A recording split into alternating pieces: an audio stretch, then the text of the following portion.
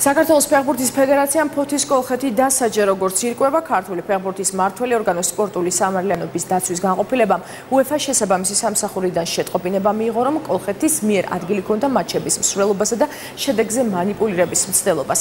უეფას თაღლითური ფსონების ამოცნობის სისტემის ანგარიშების საფუძველზე დადგინდა რომ კოლხეთის რამდენიმე მოთამაშე ერთმანეთთან შეუთანხმებლად ან ჯგუფურად ახორციელებდა მატჩების სრულებასა და შედეგზე მანიპულირებას. ფეხბურთის ფედერაციის სადისციპლინო კომიტეტი გაიცნო წარდგენილ დოკუმენტაციას, მოусმინა კოლხეთის წარმომადგენელს და ფეხბურთის ფედერაციის სადისციპლინო კოდექსის 126-ე მოხმის საფუძველზე მიიღო გადაწყვეტილება გუნდისთვის 6 გულის დაკლების შესახებ. ამასთანავე კოლხეთის მოთამაშეებს ლაშა გოგონაიას, ბორის მაჰარაძეს, ზურაბ არზიანს, გიორგი კილასონიას და თორნიკე ჯიმშელეიშვილს 6 თვიანი დისკვალიფიკაცია მიეცათ. ფეხბურთის ფედერაცია საქართველოს შინაგან საქმეთა სამინისტროს საქართველოსთან ურთიერთთანამშრომლობის მემორანდუმის ფარგლებში მიმართავს შესაბამის უწყებას, რომელიც საკუთარი კომპეტენციის შესაბამისად განიხილავს აღნიშნულ საკითხს.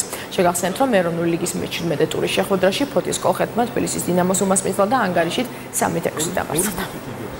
ამ ეტაპისთვის სადისციპლინო სამსახურმა ეს სანქცია გამოიტანა, თუმცა კიდევ ერთხელ ხალხს უსმენ, რომ ჩვენი პოზიცია იქნება შეურიგებელი და სამწუხაროა რომ მსგავსი ფაქტები ხდება, თუმცა ჩვენ ამას ყველა ერთად უნდა ვებრძოლოთ. ძალიან სამწუხაროა რომ კლავ ამ თემას უტრიალდებით ვფიქრობ რომ ეს საკითხი აზრალებს არა მხოლოდ კონკრეტულ ფეხბურთელებსა თუ კლუბს, არამედ ზოგადად ქართულ ფეხბურთს. სამი სხვა სხვა რაპორტია ჩამოსული უკანასკნელი ორი თვის განმავლობაში ეს რაპორტები ეხება გორის დილასთან გამართულ მარშს, ლოკომოტივთან გამართულ მარშს და რუსთავთან გამართულ მარშს. ამ საკითხთან დაკავშირებით სამწუხაროდ არ ვფლობ ინფორმაციას, არ არის ჩემთვის ცნობილი ეს განცხადება, თუმცა თუ ეს განცხადება შეიცავს დანაშაულის ნიშნებს ან შინაგან საქმეთა სამინისტროს ვინმე მომართავს, რა თქმა უნდა, ვიმოქმედებთ კანონის შესაბამისად. ვერაფერს ვერ გეტყვით, არაფერს არ ვადასტურებ, არაფერი არ ვიცი. გემდე და ამ წუთებამდე გაუგებარია ჩემთვის რა ხდება და როგორ ახლა მომავალში გაიგო ყველაფერი.